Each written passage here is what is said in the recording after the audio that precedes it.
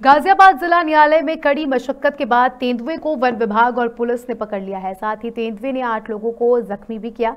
इसके बाद वन विभाग की टीम ने जाल बिछाकर रेस्क्यू ऑपरेशन चलाया। इस मामले में एचजीएम एसीटी ने बताया कि रेस्क्यू ऑपरेशन चलाकर एक्सपर्ट्स की टीम ने तेंदुए को पकड़ा।